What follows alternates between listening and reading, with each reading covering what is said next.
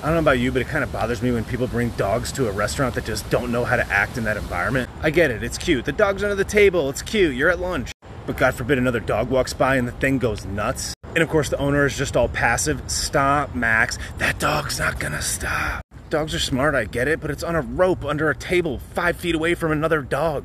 I get it, I have a dog, but if your dog's gonna bark one time, don't bring it. Fido is not gonna remember that he wasn't there for the chips and salsa.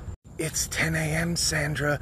I wouldn't mind having this eggs Benny without a 10x increase in volume at a random time and a potential mauling. Honestly, I think it's just a volume thing. Does anybody else get that attention anxiety from large groups that just get increasingly louder? You're at a table with eight people and you know that every single person in the restaurant can hear you and you're just like, I gotta get out of here and you can't contribute in the conversation without also being loud, so you either have to speak up and be loud with them or pull a Steven Glansberg and just sit alone. Either way, could we just collectively quiet down a little bit?